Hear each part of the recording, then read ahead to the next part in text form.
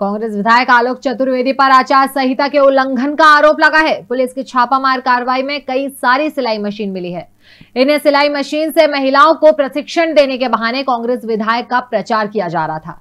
वहीं भाजपा प्रत्याशी ने दावा किया है कि कांग्रेस विधायक कपड़े रुपए और महिलाओं को सिलाई मशीन बांट रहे हैं। ये उनका हार कड़र है। प्रदेश में आचार संहिता लग चुकी है। उसके बाद प्रशासन भी सख्ती से इन नियमों का पालन करवा रहा है। पुलिस ने ओरछा रोड थाना के हतना गाँव में छापामार कार्रवाई की, जिसमें कई सिलाई मशीन को जब्त कर सिलाई का प्रशिक्षण देने वाली युवतियों को भी गिरफ़्तार किया है।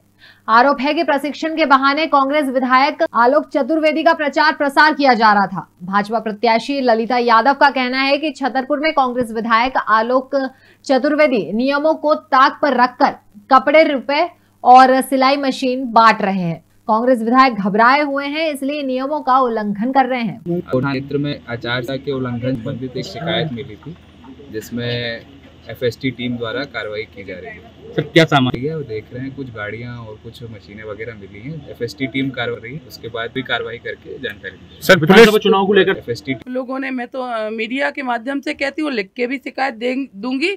और पहले भी मैं आगाह कर चुकी थी आज जिला प्रशासन को निर्वाचन अधिकारी को कि गांव-गांव में मशीनें बांटी जा रही हैं। गांव-गांव में खेल ग्राम से भी सामग्री बांटी जा रही है। और जिला प्रशासन और निर्वाचन अधिकारी को चाहिए कि इनके खेल ग्राम, सेवा ग्राम सब जगह की वीडियोग्राफी कराई जाए, क्योंकि ये इनका एक डेढ़ महीने से कृत्य चल रहा है। मैं फिर कह रही कि मैंने इसलिए बीच में नहीं बोला, आचार संहिता के बाद इनने चार सभाएँ की, वहाँ पर कपड़े बांटे, पैसे बांटे तो ये उल्लंघन नहीं करना चाहिए। प्रजातंत्र है, लोकतंत्र है, आपको सामने आना चाहिए। विधायक जी, आप इतने मत डरो, ये ज़रूरी है कि चुनाव आपको हारना ही है। भारतीय जनता पार्टी है, हमने विकास किया है, काम किया है, पाँच साल आपने कुछ नहीं किया। आप सम्मान भी कर रहे हैं और ये मशीनें बांटने का काम कर रहे हैं। बहनों को, हमारी भारतीय जनता पार्टी ने सब कुछ दिया है। आपकी मशीन में कुछ नहीं होता, लेकिन आपने जो आचार संहिता का उल्लंघन किया है, निर्वाचन आयोग को इन पर कार्रवाई करना चाहिए।